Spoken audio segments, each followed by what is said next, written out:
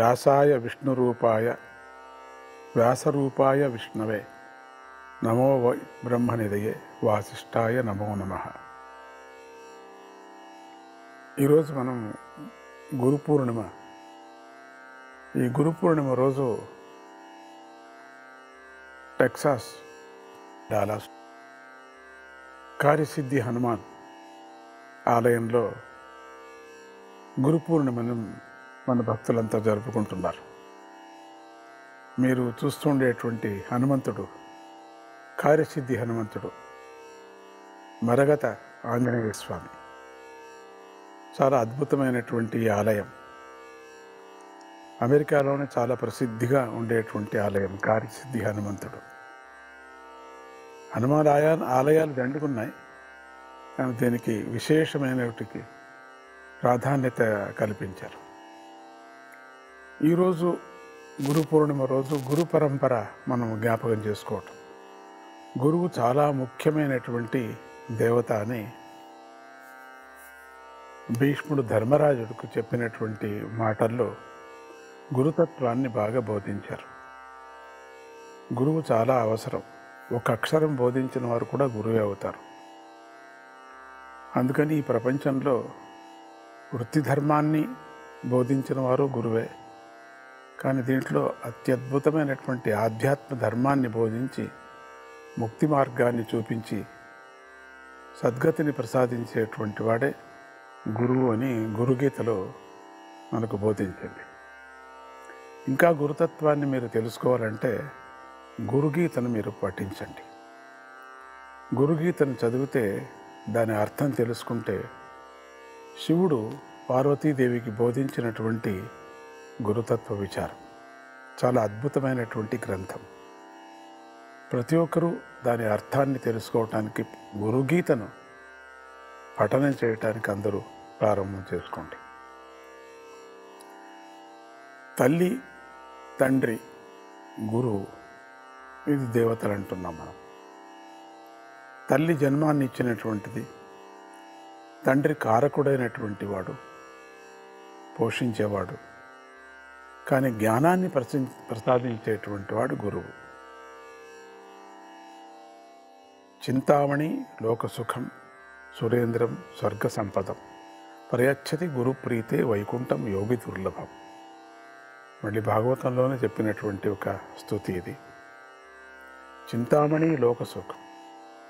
ఒకవేళ ఒక చింతామణి దొరికితే లేక అత్యంత బుద్ధిమంతుడైనటువంటి బుద్ధిని ఒక చింతామణిగా చేసుకొని ఆ బుద్ధితో సర్వస్వాన్ని సంపాదన చేస్తాడు.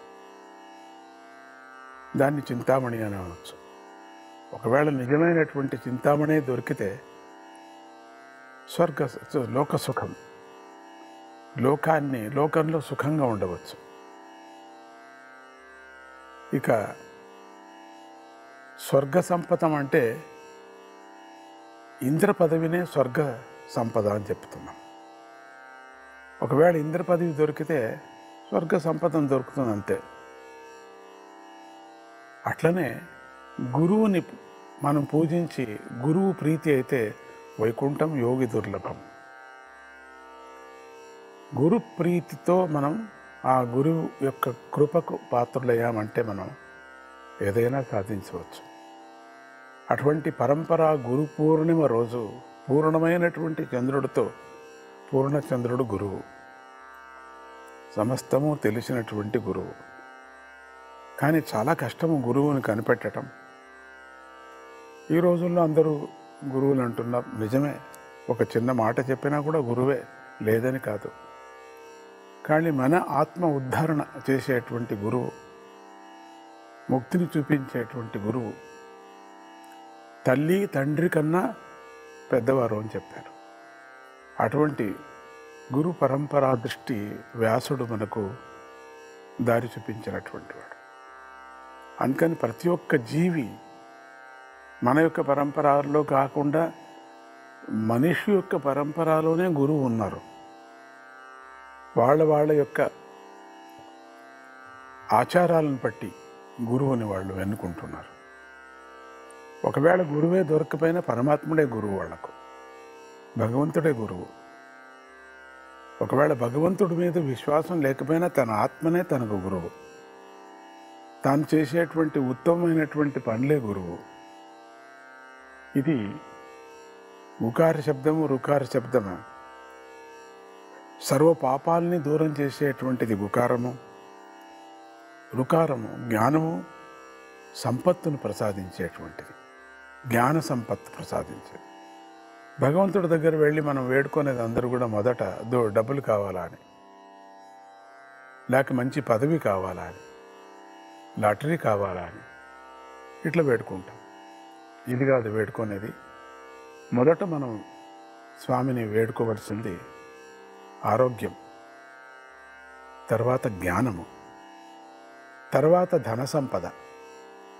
ఒకదాని తర్వాత ఒకటి వెళ్ళాడు కానీ ప్రారంభంలోనే దేవుడి దగ్గరికి వెళ్ళేది మనం అంతా కూడా నాకు డబ్బులు ఇవ్వండి అని అడగకూడదు మనం. డబ్బులతో మనం ఏమైనా చేయగలం అనేటువంటిది ఉంది మనకు. అది కాదు. మనకు జ్ఞానం కలగాల. భగవంతుడి యొక్క శక్తి కలగాల మనకు. వాడు ఇవ్వాలి మనకు. అందుకని గురువు మాట్లాడేటువంటి గురువు. చాలా కష్టం గురువుని. అర్థం చేసుకోవటం కష్టం. చాలా కష్టం. మన అజ్ఞానాన్ని దూరం చేసేటువంటి వాడు గురువు. మన హృదయానికి ఫీలింగ్ తెలుస్తుంది ఇది నా గురువు నా జ్ఞానాన్ని ఇస్తాడు అని చెప్పేసి.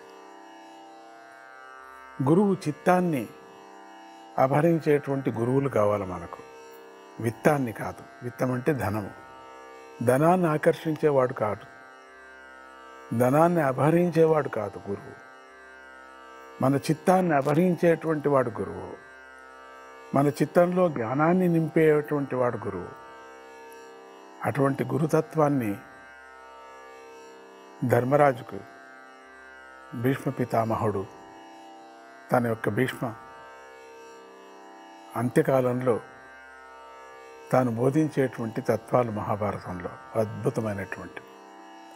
అటువంటి గురు మనమంతా కూడా ఎంత భాగ్యం మనం డాలాస్లో కార్యసిద్ధి హనుమాన్ ఆలయంలో దత్తాత్రేయుడు శివుడి యొక్క సన్నిధిలో గణపతి యొక్క సన్నిధిలో దుర్గా పరమేశ్వరి యొక్క సన్నిధిలో సుబ్రహ్మణ్య స్వామి యొక్క సన్నిధిలో మనం ఆచరించుకుంటున్నాం. ఇటువంటి సందర్భంలో భగవద్గీతను కూడా సహస్రగళాలతో మళ్ళీ మళ్ళీ పారాయణం చేసుకుంటూ ఆ పిల్లలకంతా ఉత్తేజనం చేసుకుంటూ గురు పూర్ణిమతో సంబంధించినటువంటి గీతా పారాయణాన్ని కూడా కలుపుకొని చేయటం అనేది చాలా విశేషంగా డాలాస్లో మేము జరుపుకుంటున్నాం. మీ అందరికీ గురుతత్వాన్ని తెలుసుకోవటానికి మీరందరూ ప్రయత్నం చేయండి. గురువుని తక్షణం కనిపెట్టడం కష్టం మనకు. తక్షణమే మోక్షం వచ్చేస్తుంది అనుకోకూడదు మనం. శ్రమ మనం మనం ఎట్లా గురువును పరీక్షిస్తామో గురువు కూడా మనను అట్లే పరీక్షిస్తాడు. ఇది జ్ఞాపకం. ఏ స్కూల్కి చేరాలా ఏ కాలేజీకి చేరాలా ఎట్లా ఉంది అక్కడ ప్రొఫెసర్స్ ఎట్లా ఉన్నారు ఫీజు ఎంత అవుతుంది ఇవన్నీ మనం ఎంక్వైరీ చేసి మనం వెళతాం. ఏ కోర్స్ తీసుకోవాలని ద కోర్స్ తీసుకోవటానికి ఒక ఒక కోచింగ్ పెట్టుకుంటున్నాం. దానికే ఒక కోచింగ్. నీ బుద్ధి నీకు ఒక టెస్ట్ పెట్టి దీంట్లో నీకు ఏ బుద్ధి ఎట్లా ఉంది దాంట్లో అనుసరించి ఇటువంటి కోర్స్ తీసుకోనేటువంటి సర్టిఫికెట్ ఇచ్చేటువంటి ఒక కోర్స్ పెట్టేటువంటి ఇన్స్టిట్యూట్స్లో దండుకున్నాయి. చూసారా కేవలం నీకేం కావాలా? అనటానికే ఒక కోర్సు. అట్లనే గురువునని గురువును మనం పరీక్ష చేస్తాం. అది చేయకూడదు కానీ చేయటంలో తప్పేం లేదు. అది మనం గ్యారంటీ కావాలి కదా మనకు కూడా. అజ్ఞానాన్ని దూరం చేసి చూస్తూనే తెలుస్తుంది మనకు. అసలు దర్శనంలోనే అర్థమైపోతుంది మనకు.